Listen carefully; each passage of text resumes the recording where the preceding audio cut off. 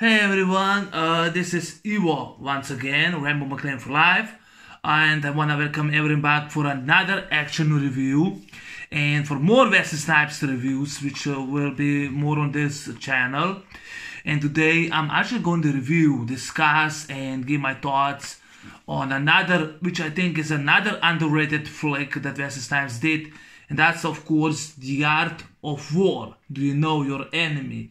Which came out in August 25, 2000. And sadly, this movie bombed at the box office. This was like $65 million, but it earned only $40 million.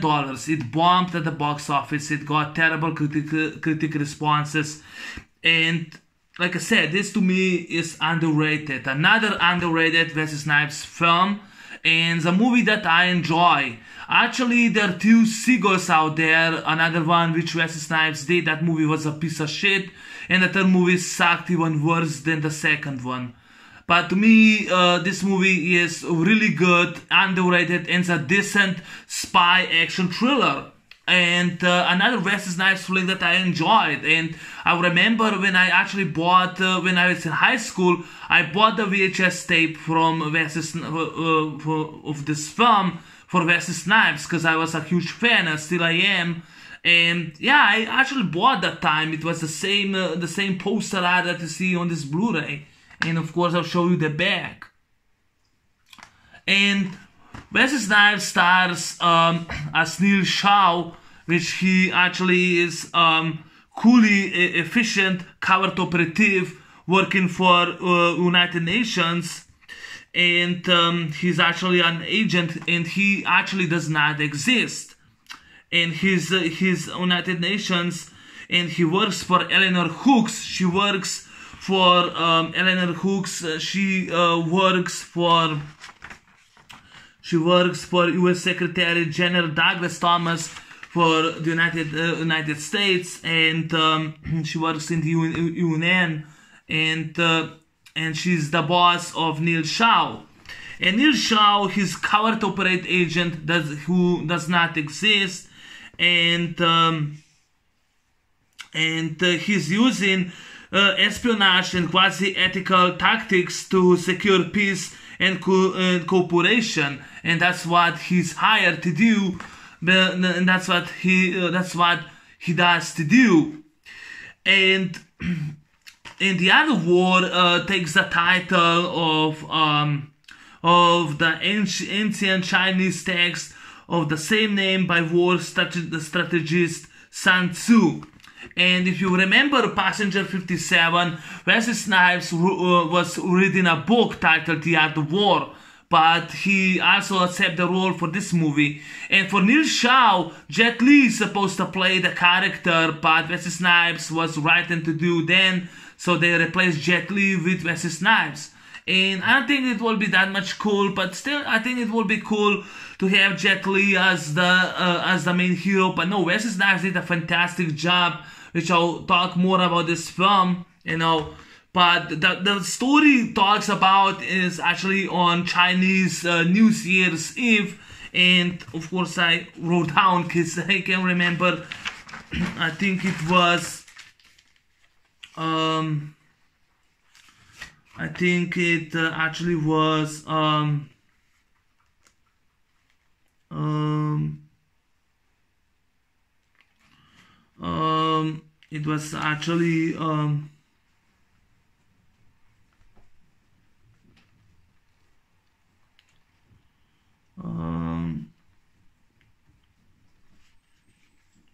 It was actually on Chinese Year's New Year's Eve, which was actually a party uh, held by uh, Chinese um, uh, uh Chinese business mogul David Chen, played by Cary Hiroki Tagawa, and um, and of course Wesley Snipes. Um, uh, Wesley Snipes, who plays Neil Shaw, he infiltrates, he goes and he infiltrates the, that party um, as one of the guests and I actually love that, you know, when he talks to uh, one of those um, uh, American, uh, one of those Americans uh, diplomats, and Hiroki Tagawa says, "You sir, who are you? Me, I'm Eddie Murphy." I was actually saying the open uh, video uh, the Wesley Snipes is Eddie Murphy in The Art of War, but he actually did um, imitated really great Eddie Murphy in this movie.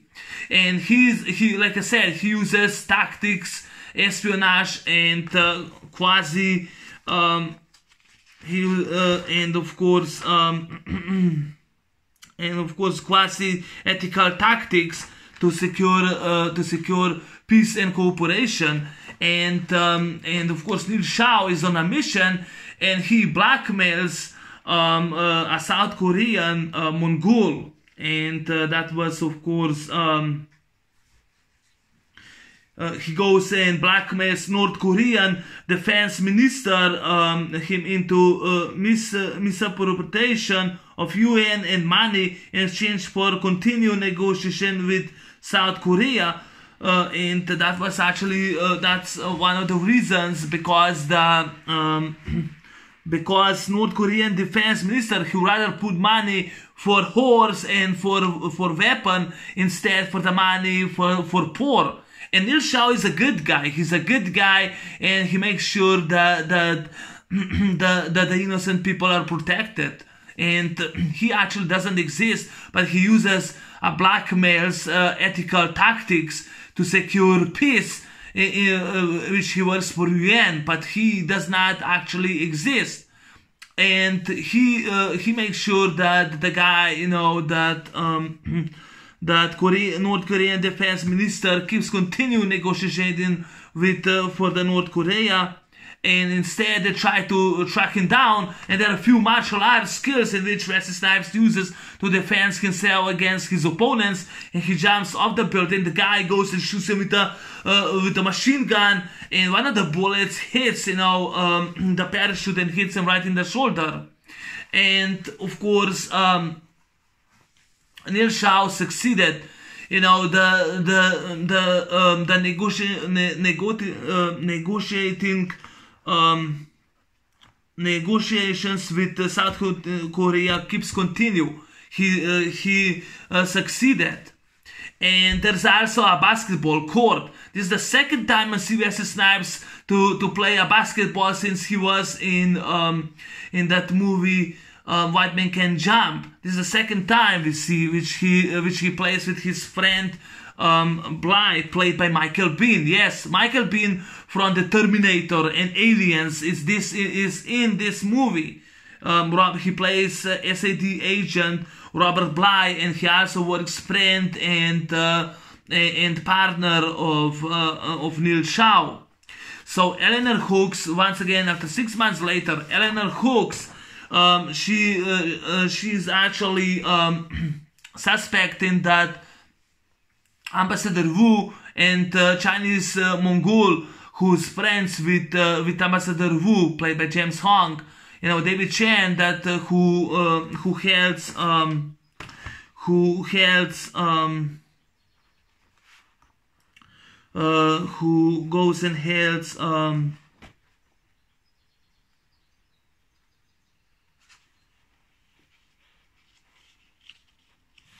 um, who who uh, who holds a banquet, you know, who Chen holds a banquet. He uh, she suspect that uh, uh, Ambassador Wu and David Chen they're actually somehow connected with uh, Chinese gang riots, and she um, and she uh, asks and sends Neil Shaw on a suicide mission in which he has to uh, infiltrate in the party and plan on Ambassador Wu uh, back to find out uh, uh, the conversation, what's going on. So one of Neil Shaw's agents and um, co-workers, that's of course, um, uh, that's of course Agent Gina Frank, uh, Gina Novak, Agent Gina Novak. She goes and um, uh, Gina Novak. She goes and infiltrates to Ambassador Wu back but but that time um, Ambassador Wu is actually assassinated. He's been shot in the head, and another bullet hits David Chen. And uh, the uh, the assassination, you know, the assassin starts running away, and uh, Neil Shaw goes and he's hunting him down. and um, and of course during the hunt, Neil Shaw is actually arrested for the murder of Ambassador Wu and David Chen by police, and now in New York, and he's uh, and he's framed during the transportation because he doesn't exist, and he's been framed now.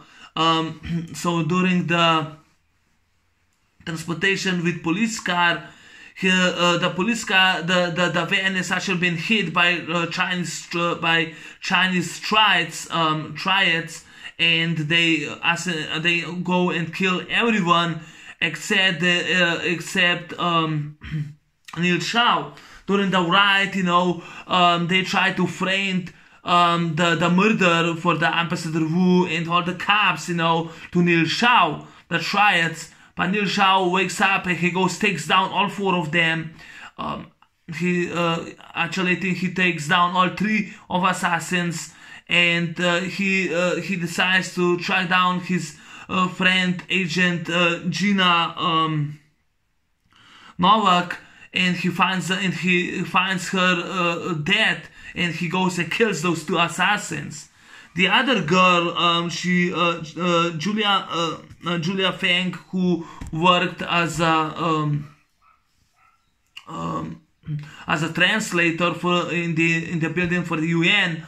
Um, she she claims that um, uh, Agent Neil Shaw, he he's not the shooter, he's not the killer, and of course that's actually happens, you know, and uh, of course during um so now, because he finds out that there's actually a film, there's a tape, you know, what uh, um, David Chen and Ambassador were talking, he visits her old, uh, her old partner, her old colleague, and she's been assassinated, killed.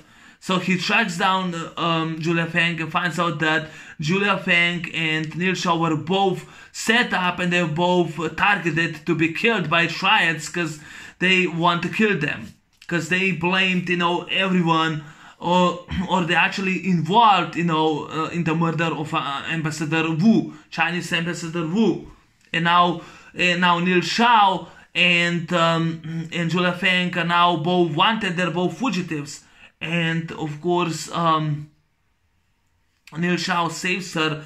And Julia Fang has no choice because her best friend is being killed and the grandmother has been killed and now she's been targeted. They try to kill her, not uh, uh, not Neil, and Neil saved her. You know, Neil went and he saved her. Shaw saved her, and because she's probably back, they decide to do whatever it takes, you know, to stop them, um, to find out who's behind the conspiracy and why. And um, and more closer they get, you know, they actually came uh, to the conspiracy, and because they're now in the run, they actually find out that Robert Bly is supposed to be dead, but you know, actually he wasn't dead, he was alive, and Eleanor Hooks was behind the conspiracy. That Neil Shaw's boss, she was behind the conspiracy. And uh, by the end, you know, um, uh, Neil Shaw, you know, who's been hunted down by FBI agent Capella, played by Maury Chaikin, uh, he starts, uh, Maury Chaikin later starts to believe that Wesley Snipes is a good guy and he's not a shooter, uh, and he tried to prevent the, uh, uh, the, that ambassador will be killed, and he couldn't. And uh, he's been sucked in the conspiracy, and he starts to believe him, and he starts to uh, help. Um, he starts to help Neil Shaw, and in the building of the UN. Um, it turns out that Alan Hooks ordered, you know, that Ambassador Wu and David Chen are be killed because David Chen he was hit, you know, and um, because um, uh, Neil Shaw suspect that David Chu, David Wu, uh, David Chen, not David Wu, David Chen was behind everything. He goes to confront David Wu, uh, David Chen, but it turns out that, that his injury was fake. He never was shot. He knew the the the the, the Tempest will be assassinated, and uh, of course. Um, uh, Wesley Snipes' character Neil Shaw try to find out who was behind everything, who did that. Um,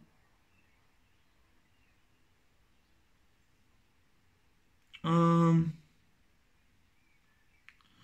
he uh, he actually did uh, trying to find out who um, who uh, with who David Chen was working for, and that time David Chen has been hit right in the shoulder, then in the head, and the same killer who escapes, and while um, uh, Neil Shaw who tried to goes to the, the same alley he was in uh, he was in the opening film he tries to catch the, the, the assassin and when he finally does it turns out it was actually Robert Bly who faked his death and he was the one that killed um, he was the one that that that, that assassinate Ambassador Wu. He faked his death and he killed uh, and um, and he tried to kill um, Neil Shaw. He of course he escaped. Now because he was finds out that Ellen Hooks was behind everything. Um,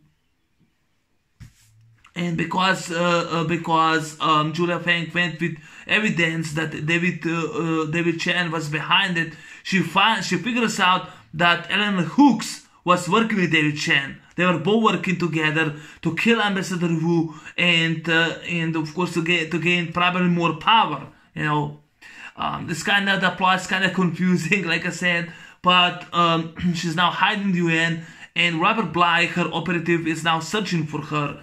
And Neil Shaw shows up, you know, and he starts uh, go and he starts fighting with Robert Bly, and of course, um, of course they go and um, he fights Robert Bly. On the end, he kills him, saves Julia Fang, and um, and of course Eleanor Hooks then she gets killed because he finds the bag in his shoulder uh, when he fought in the basketball court with Robert Bly. And when he gets stitches in the back, you know that was the bag. He put the bag and uh, and gives uh, try it, uh, and he gives you know the the visit card who's behind, who's actually uh, behind Ambassador Wu's death, and uh, of course um, it was Eleanor Hooks, and tried on the end they kill Eleanor Hooks. Actually, she's been fired by um, when um, General Douglas Thomas, played by Donald Sutherland, finds this out. He fires her, and then she gets shot in the head. You know, he gets uh, she gets hit uh, by by a shot in the head by Chinese triads to get revenge. And uh, of course, uh, Maury Chaikin helps, you know, because uh, he goes and helps um, uh, Neil Shaw's character, you know, to clear his name. But, but because there's no evidence, they go and they assassinate Wesley Snipes. You know, uh, he actually goes and uh, they um, he helps you know Neil Shaw to fake his death, and um, on the end. Julia Fang is uh, now free because no one is hunting her down, and Neil Shaw goes and joins her, and of course, then the movie ends. I forgot to mention that I found the movie um, like 100 or uh, probably 30 uh, Vietnamese refugees uh, during Hong Kong shipment, you know, and that was kind of scary, really, when you see Maury Chaikin staring at the bodies with all the flies around it. Now, this was a solid, decent movie, and I would definitely put this one of top 10 favorite Wesley Snipes films. It's a really decent movie.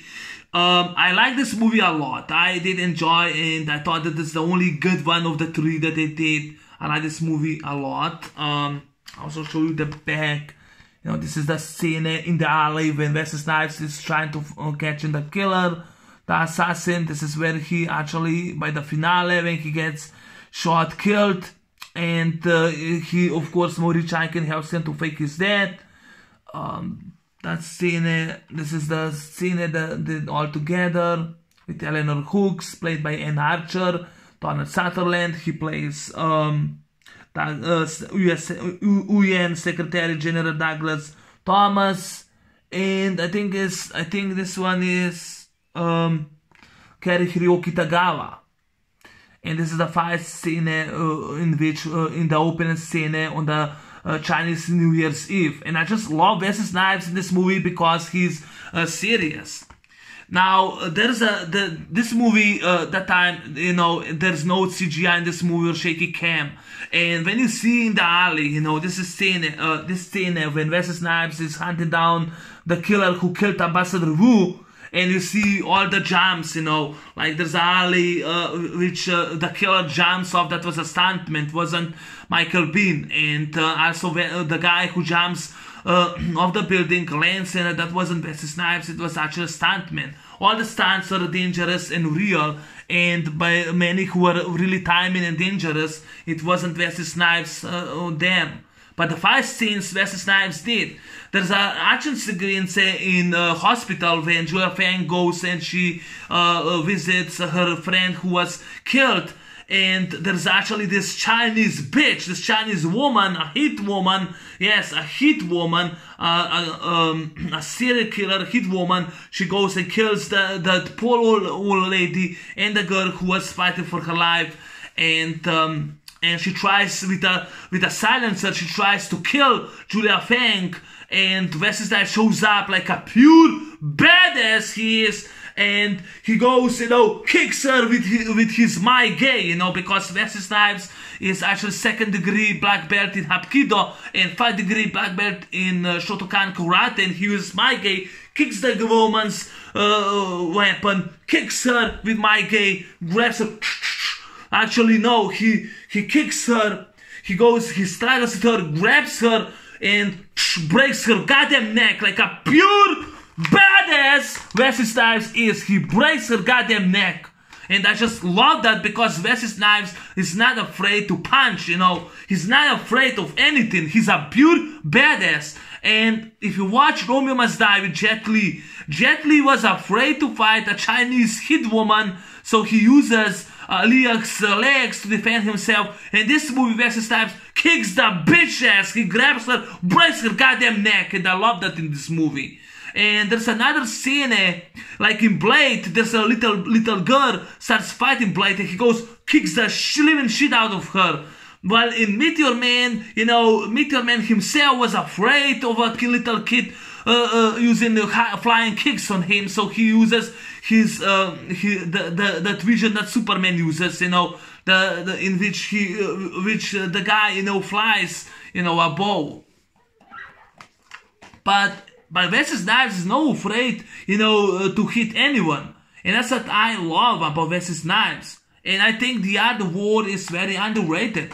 Michael Biehn is also in this film. He plays Robert Bly from Aliens. You know, he was uh, Corporal Hicks in that movie. He was in uh, The Terminator.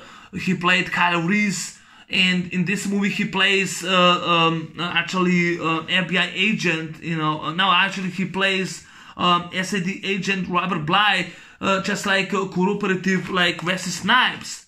And yeah, the action sequence, there's also in the van when um, oh, I think was three or four uh, tried hitmen who killed everyone. Of course, Maury Chaikin with a vest, he survived, but all the cops were killed.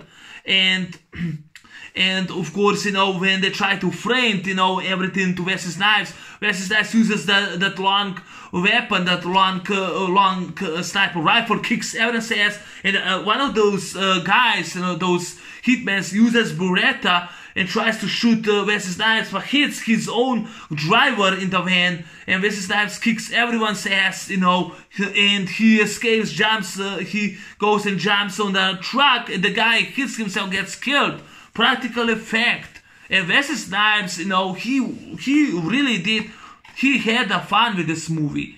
He, I really enjoy watching him, you know, kicking his ass. Now, few problems I do have with this film um, actually nitpicks. It's called nitpicks, but a few problems.